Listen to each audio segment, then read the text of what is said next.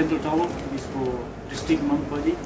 And this valley is also known as Jakar Valley because of the fort. And in ancient times it's known as Chokhor Valley. Chokhor means uh, turning the wheel of Buddhism.